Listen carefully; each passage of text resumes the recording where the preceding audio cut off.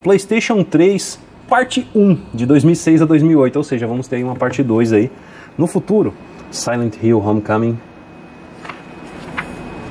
Siren Blood Curse.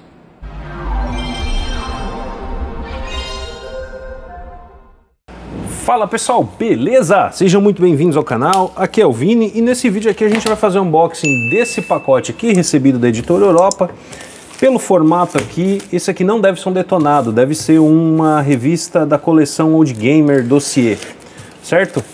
Galera, esse estilete aqui tem unboxing no canal e tem também um link para você comprar ele se você quiser, tá? Na descrição você vai achar aí dois links para você entrar em dois documentos do Google Doc. No primeiro documento você vai achar lá todos os produtos, já tem unboxing no canal ou tem vídeo pronto e vão ao ar em breve. Tá? Então você vai conseguir achar os links lá. No segundo link tem produtos que tem unboxing, produtos que não tem unboxing. Os que não tem unboxing estão lá, são porque eu encontrei preços legais, achei bacana compartilhar com vocês. E essa revista que a gente está vendo aqui, a gente também vai ter aí o unboxing na o link para você comprar ela lá no primeiro documento. Galera, então olha só, por essa eu não esperava, eles estão dando um jeito de prolongar um pouco mais a coleção. Eu pensei assim, pô, estão chegando aí na, na, geração Play 3, daqui a pouco não vai ter mais nenhum console para falar.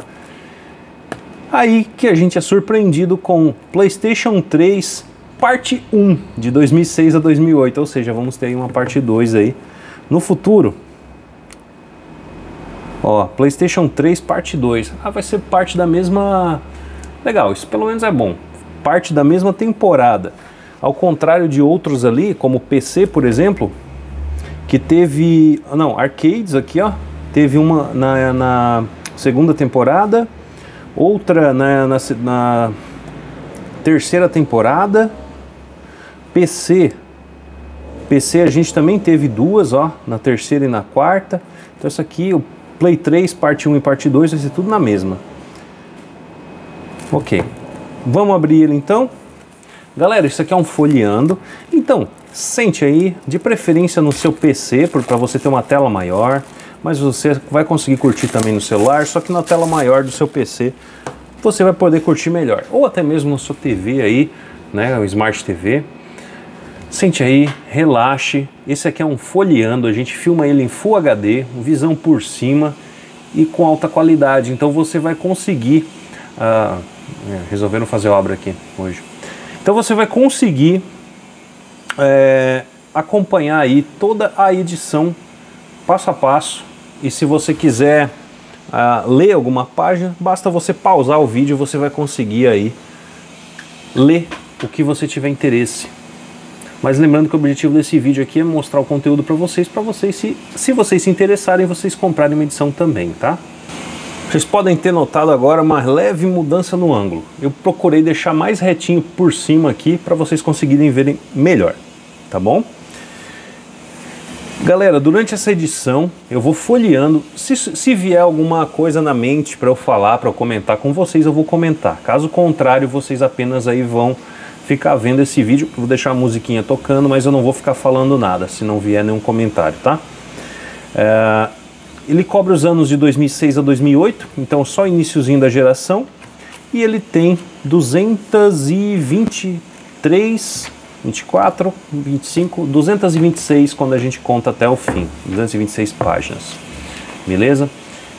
O padrão dessas revistas são assim: no início você vê história do console, personalidades que são as pessoas importantes no desenvolvimento, hardware, modelos, acessórios e depois a gente começa a falar de jogos.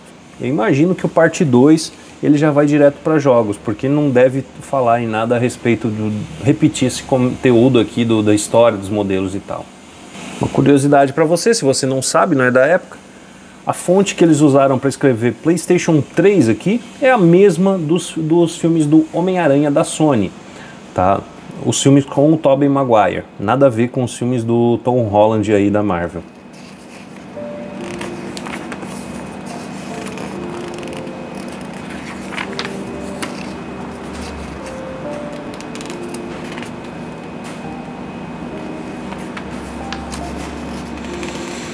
Tá, é um videogame super poderoso que era muito potente para a época, Porém, foi, foi um erro de marketing gigantesco da Sony, um erro de planejamento gigantesco da Sony, que eles lançaram esse aparelho aqui por 600 dólares na época, um valor extremamente alto para quem estava acostumado a pagar aí 200, 300 dólares num videogame, pagar 600 era impensável, então foi um fracasso inicial de lançamento. Até o fim da geração, a Sony lançou revisões novas de hardware e acabou conseguindo virar o jogo e o PlayStation 3 ele se tornou bem sucedido. Talvez não tenha sido o videogame que mais vendeu na geração, talvez esse título vá para Xbox 360 graças à pirataria. Não que o Play 3 não tenha pirataria, porém a pirataria do Play 3 é diferente, você tinha que transferir os jogos para HD interno ou externo e tal, enquanto que o do Xbox você podia piratear em disco, o que torna tudo muito mais fácil. Então, nesse sentido, o Play 3 não se tornou tão popular. Mesmo assim, eu, eu acredito que mesmo se, na, com a questão da pirataria, a, a Sony causou muito impacto inicial com aquela com o preço alto.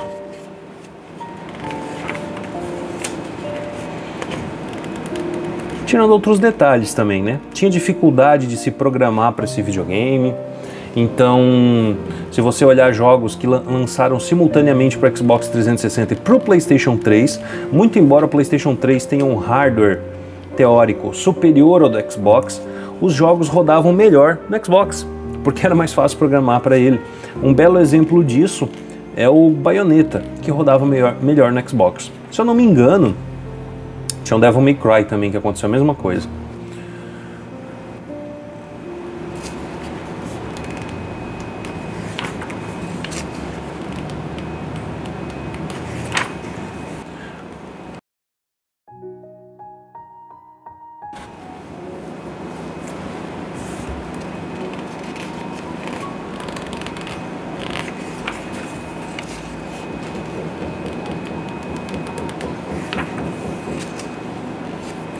Esse aqui é um dos primeiros protótipos que vazaram. Imagina você se o controle final, o modelo final do controle fosse esse. Bizarro.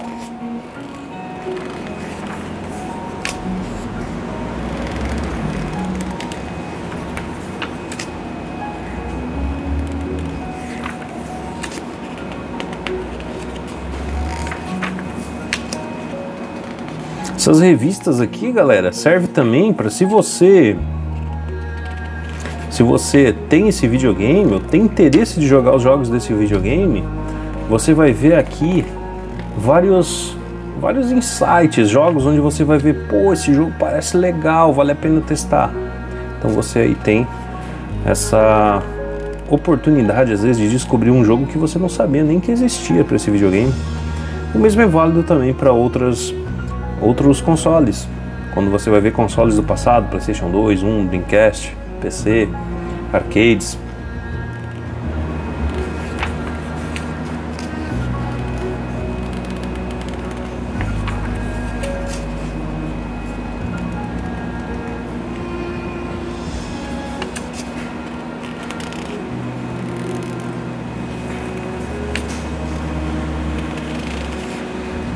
Tá aqui um grande jogo da Sony que surgiu aqui, galera. Se você não tá ligado aí, Uncharted não surgiu no PlayStation 4, não, surgiu no PlayStation 3. E nós temos Uncharted 1, 2 e 3 para o PlayStation 3. Apenas o 4, que é o A Thief's End, saiu para o PlayStation 5. E depois aí vieram as coletâneas que trouxeram esses jogos aqui de maneira remasterizada para o PlayStation 5 e eu acho que para o 4 também.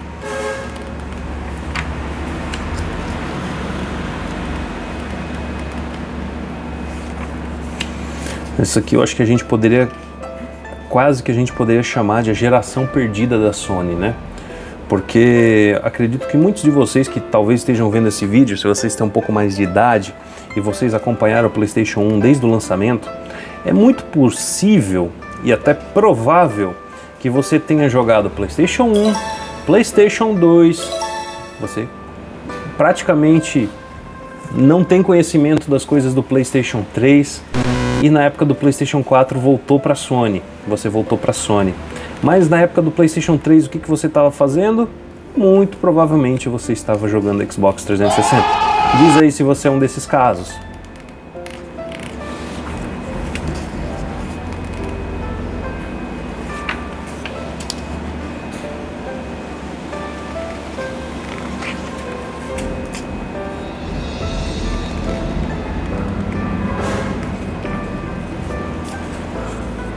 Metal Gear 4. Galera, esse jogo aqui é muito bom. É muito bom. Eu levei muitas horas para terminar esse jogo. É muito bom. Eu tenho um PlayStation 3 ainda, mas já faz tempo que eu nem liguei mais ele. E tem vários jogos dele que eu gostaria de jogar, mas já até saíram para o PC, muitos deles, mas que eu não, não joguei. Como por exemplo Heavy Rain. Era um outro jogo que eu queria jogar até o fim, mas eu acabei perdendo time e não tive tempo depois. Joguei alguns outros, como por exemplo o Beyond Two Souls, que é um jogo parecido, que saiu aí pro Play 3 também. Joguei já no Play 4 daí o Until Dawn, que também é parecido, não que seja parecido na história, mas parecido no gameplay. Mas o Heavy Rain mesmo deixei passar.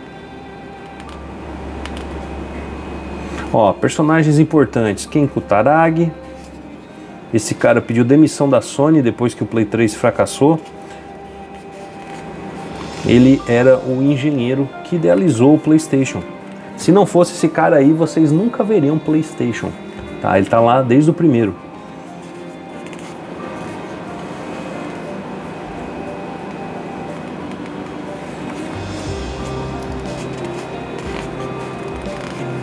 Nossa, eles aproveitaram que, que vamos ter aí duas edições e nós já estamos quase na metade da revista e ainda está nessa parte de história do, dos consoles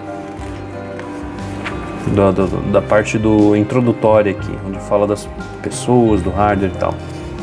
Normalmente, ao chegar nessa página, a gente já teria iniciado a parte de jogos em edições anteriores.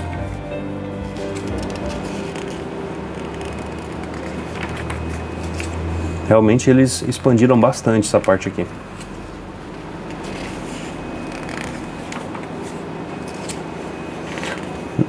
O Play 3 é um videogame que eu acredito que merece ser bem abordado.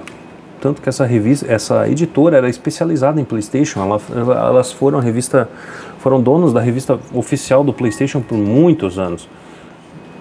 Antigamente era uma revista do, só de PlayStation, só que não oficial, depois virou oficial e agora não tem mais, agora virou Play Games, né? Então faz sentido que eles estendam o, o, PlayStation 3 em mais edições, mas eu espero que eles não façam isso com mais consoles, com consoles que não merecem, para não estender desnecessariamente a temporada, por, colocar livros para encher linguiça, vamos dizer assim, né?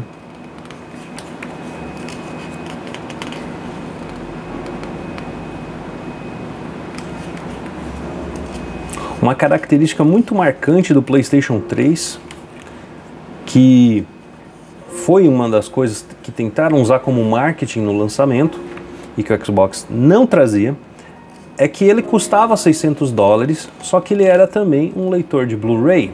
E naquela época, se você fosse comprar um leitor de Blu-ray, que seria apenas leitor de Blu-ray, não dava para jogar nada nele, você pagaria mais do que esses 600 dólares que esse videogame trazia. Então eles tentaram usar uma estratégia parecida com a do PlayStation 2. Na época que o PlayStation 2 foi lançado, ele custava um valor que era menor do que um player de DVD.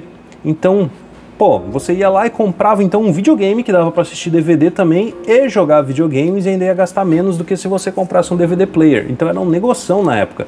E eles tentaram fazer a mesma coisa aqui com o Play 3 e o Blu-ray. Só que o Blu-ray não pegou tanto, por isso eles se ferraram. Já a Microsoft, ela veio com seu Xbox 360 que apenas lia DVDs expandiram um pouquinho, né? Para aceitar DVD 9, que é o DVD de dupla camada, que cabe aí 8 ponto alguma coisa gigabytes, pouco menos de 9 gigabytes, é, mas com a capacidade bem inferior ao do Blu-ray, por isso que alguns jogos que vêm em um disco no Play 3, no Xbox precisa de vários discos. Mas, como eles não tinham leitor de Blu-ray, eles não precisavam cobrar tanto. Então, dessa vez, a estratégia da Sony, que eles tentaram repetir, não deu certo. A estratégia que eles tentaram repetir lá do Play 2.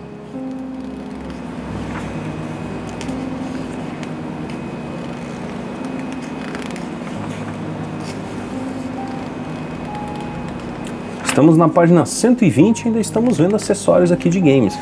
Agora sim, começamos a falar sobre jogos. Vamos ver o que, que a gente tem aqui. 2006, início da geração, então jogos aí que a gente vai ver com gráfico um pouquinho acima do Play 2, às vezes até iguais, muitos portes. E depois que passar algum, alguns anos aí que a gente começa a ver evolução real. Eu vou comentar só alguns destaques aqui que eu for, que eu for vendo para vocês, tá? Call of Duty 3, Fight Night Round 3. É, isso aqui era um jogo bem famosinho na época. Fórmula 1, sempre jogo de Fórmula 1 sempre foi bem recebido. Gran Turismo. Isso aqui é tipo um demo, tá? HD Concept. Não é um jogo completo. Ó, espécie de demonstração. Era gratuito até. Depois virou o Gran Turismo 5 Prologue. Cara, esse jogo já é dessa época. Nossa, eu lembro de ter jogado esse jogo, não fazia ideia que já tinha tanto tempo 20 anos quase. Uau. Need for Speed Carbon.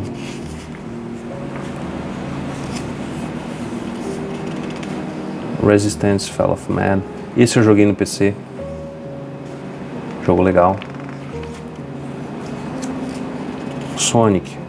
O visual aqui lembra o Sonic Adventure, né? Mas eu não sei se a jogabilidade lembra. Tekken 5. Tony Hawk's Project 8. Esse aqui eu acho que fracassou. Não lembro se esse era um que vinha com um controle em forma de. de. Você tinha um controle em forma meio que de skate aí. Não sei se era esse. 2007, então aqui aparentemente é o lançamento do primeiro Uncharted. Beowulf The Game, na época que teve um filme, nossa, já faz tudo isso também. Assassin's Creed, joguei no PC, o primeirão. Caramba, como o tempo passa. É de 2007 já esse jogo, uau. Olha, a gente envelhece rápido demais, hein. Call of Duty 4, Modern Warfare. Esse aqui foi o jogo que revolucionou a franquia.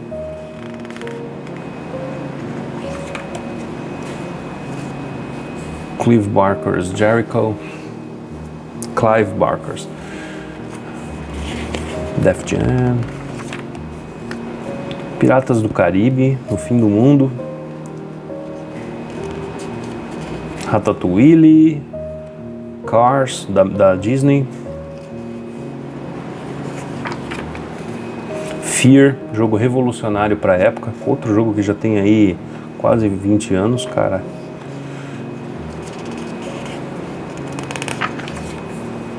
Ó, Gran Turismo 5 Prologue.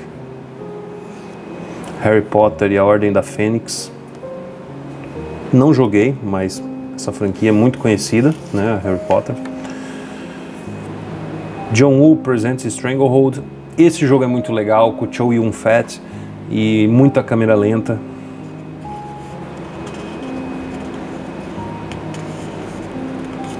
Kane Lynch também é dessa época. Pô,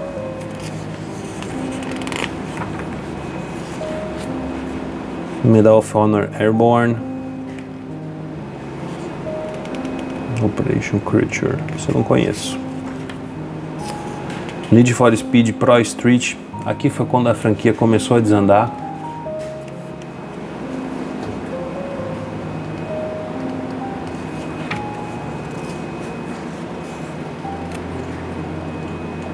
Rock Band, Ratchet, Clank, Sega Rally, Skate. Esse jogo revolucionou também. Soldier of Fortune foi um jogo que foi revolucionário, não esse, um que veio antes desse, que teve lá pro Dreamcast, que você conseguiria aí atirar em braços e pernas e causar desmembramento nos inimigos. Foi revolucionário pra caramba na época, nenhum jogo trazia isso. Hoje em dia isso é comum. Spider-Man 3, baseado no filme provavelmente. The Darkness. Esse jogo eu joguei no Xbox 360. Jogo muito bom mesmo. Eu adoro The Darkness. as HQs, então esse jogo aqui eu gostei muito também.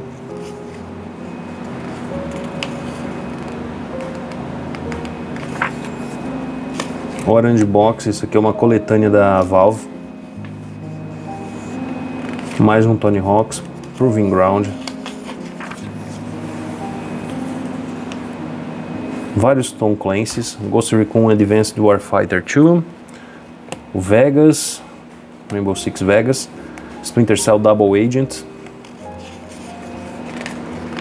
Virtua Fighter 5, Uncharted Drake's Fortune.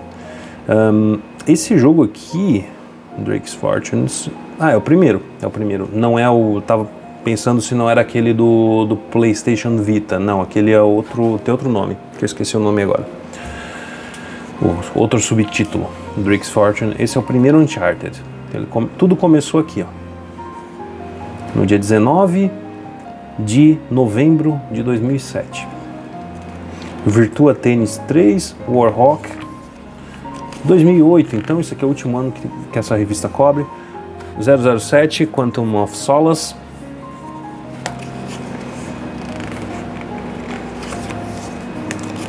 Alone in the Dark Inferno. Um jogo bem tosquinho, mas eu gostei, tá? Legal.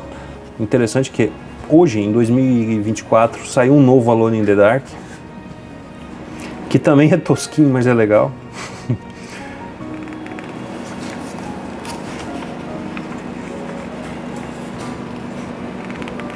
Bioshock também daqui, ó, de 2008. Nossa. Burnout Paradise. Call of Duty World at War. Condemned 2.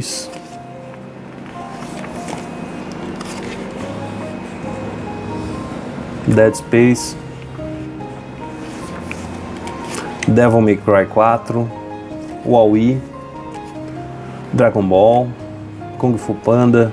Tudo jogos aí bem conhecidos. Mad é, Madagascar.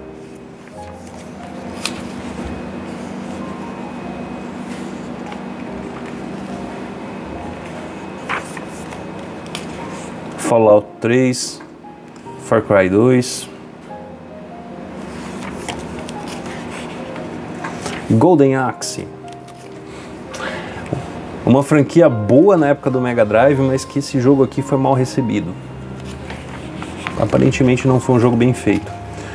GTA 4, esse foi grande. Não foi gigante como o 5, mas esse foi grande. Dois Guitar Hero.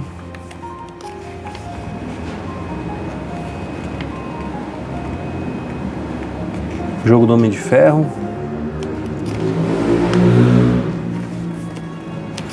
Lost, jogo do Lost. Joguei no PC também.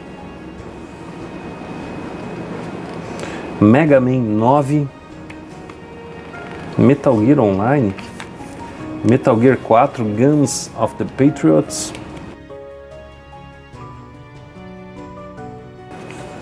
Mirror's Edge, o jogão, Mortal Kombat vs DC, Naruto, Overlord, isso aqui é um jogo legal também, interessante se você gosta aí da, da, do estilo, estilo RPG de ação. Prince of Persia? Ah, certo, eu joguei também isso aqui no, no PC. É um Prince of Persia bem diferente daquele das areias do tempo que a gente tinha até o Play 2. Aparentemente teve um relançamento do clássico aqui, ó, Prince of Persia clássico. Também. Outro Ratchet Clank. Conspiração Born. Ryuga Gotoku, isso aqui é o Yakuza. Ryuga Gotoku Kenzan. Só que é o título, o título japonês do, da franquia Yakuza é Ryuga Gotoku. Ou Ryuga Gotoku. Saints Row 2.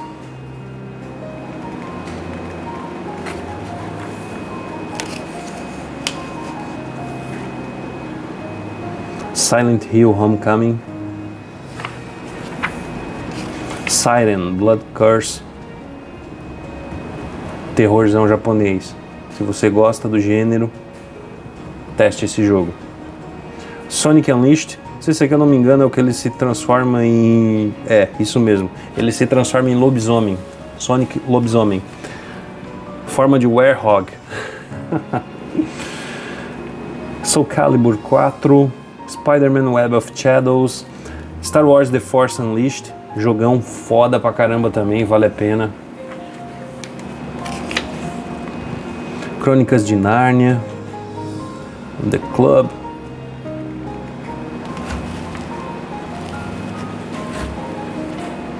Jogo do Hulk. Spyro, Tomb Raider Underworld, jogo bom também.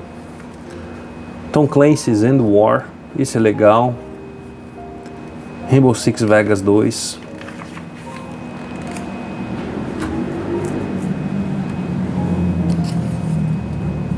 Desconheço.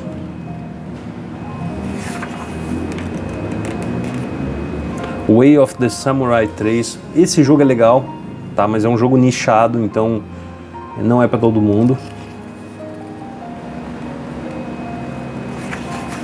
E é isso, chegamos ao fim da revista, galera. Esse vídeo ficou bem longo porque nós temos aqui muitas páginas, né, para ficar passando. Ao contrário das páginas de Detonado, onde trata apenas de um jogo só e são 49 páginas, aqui a gente teve muitos jogos para falar a respeito e foram mais de 200 páginas. Por isso, desculpem aí pelo vídeo longo, mas é um vídeo completo, tá bom? Galera, se você gostou do vídeo, deixa o seu like, ele é muito importante para fazer o vídeo chegar a mais pessoas e estimula a gente a trazer mais conteúdo para vocês. Olha aí nos comentários, no, na, nos comentários não, na região da descrição do vídeo, onde que você vai encontrar os dois links dos documentos do Google Docs, onde no primeiro vai ter um link para você comprar essa edição aqui, se você quiser comprar ou outros diversos produtos que eu já fiz unboxing no canal. No segundo link você vai ter produtos que eu já tenho unboxing e alguns que não tem unboxing, porém estão lá porque eu achei preços bacanas para compartilhar com vocês. Espro, explore aí a descrição também, porque nela você vai encontrar aí diversas outras coisas que você pode gostar. Qualquer sugestão que você tenha, qualquer experiência que você tenha com PlayStation ou com essas edições aqui que você queira compartilhar, deixe nos comentários, eu procuro ler e responder todo mundo. Nesse vídeo é isso então, a gente fica por aqui. Muito obrigado por ter assistido e até a próxima. Falou!